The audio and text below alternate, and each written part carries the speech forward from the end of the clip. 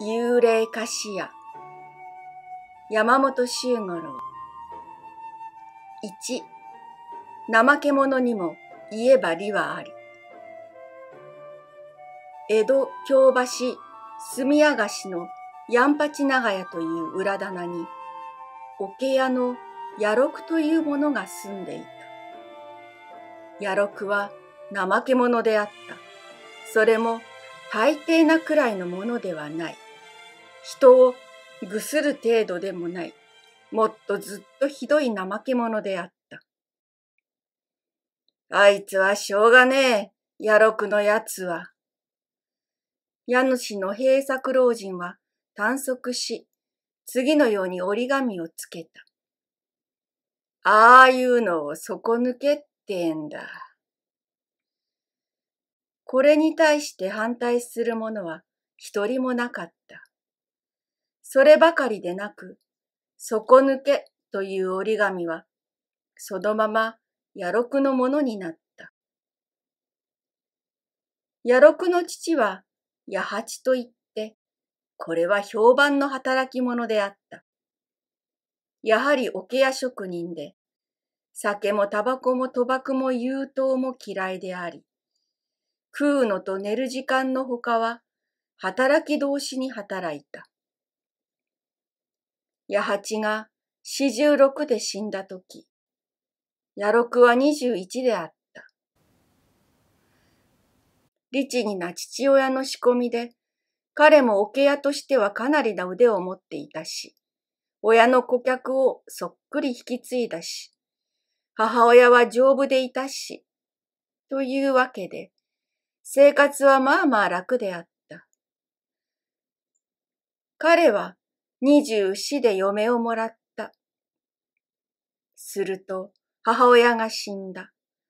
誠にあっけないもので、三人で晩飯を食べているとき、彼女は突然茶碗と箸を放り出して、仰向けざまにひっくり返った。ふざけているようにも見えたが、ともかくも寝床を敷いて寝かした。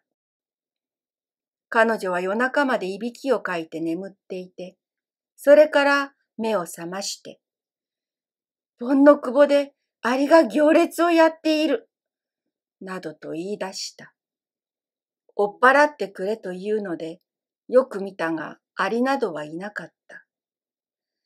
いないことはないよ。よく見ておくれよ。母親は子供のむずかるようにせがんだ。ほらほら、盆の窪から頭へ行列してるじゃないか。ほら、髪の毛の中へぞろぞろ入っていくよ。ああ、嫌だ。おっぱらっとくれよ。額の方まで行列してくるよ。そしてほどなく、うーん、とうなった。気持ちの良さそうな、ああ、いい心持ちだというようなうなり方であった。それが死ぬ合図であった。野六は元から勤勉とは言えなかった。だが、母親が亡くなると、初めて本性を表した。仕事をすれば確かな腕を見せるが、だんだん仕事をしなくなっていった。そうかといって、道楽をするわけでもなかった。父親と違って彼は酒を飲むしタバコも吸う。女遊びも酒はしない。だが、なければないでも済んだ。浮かない顔をしてるわね、あんた。お酒でも買ってこようか？女房がそう言うと彼はあくびをする。ああ、酒か、そうさな。そして、だるそうにどこかを書いて言う。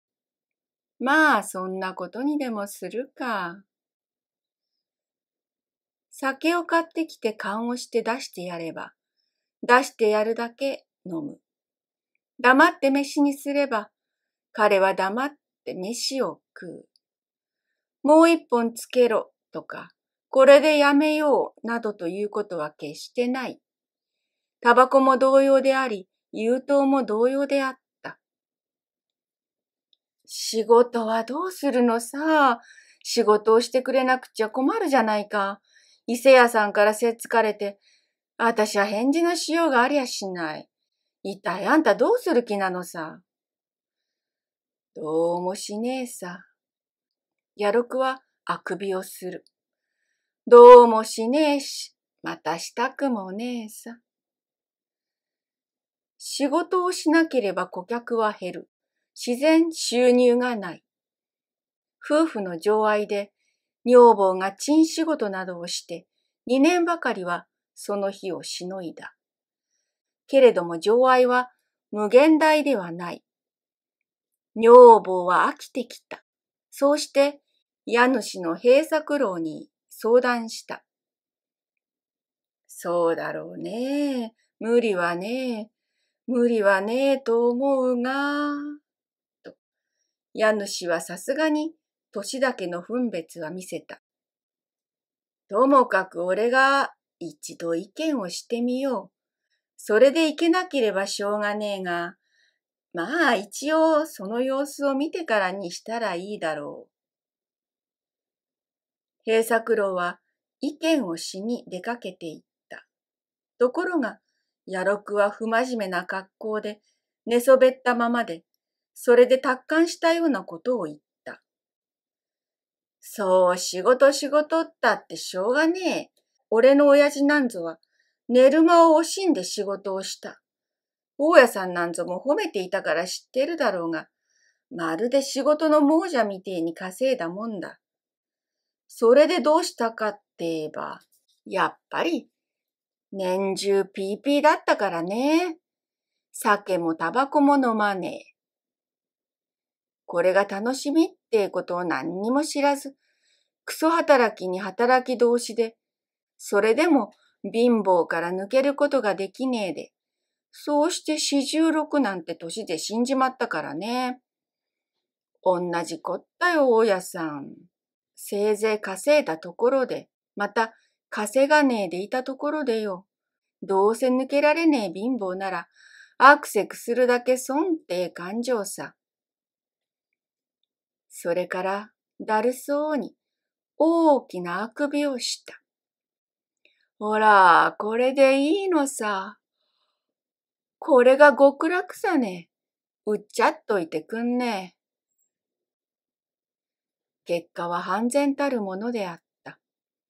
女房のお金は実家へ帰り、彼は置いてきぼりを食った。出て行くときは、お金は泣いて、あんたが人並みな気持ちになる日を、私は実家で待ってるよ。憎くって別れるんじゃないからね。私は待ってるからね。どうか早く帰れるようにしておくれよ。こう書きくどいて、ひとしきりまた泣いた。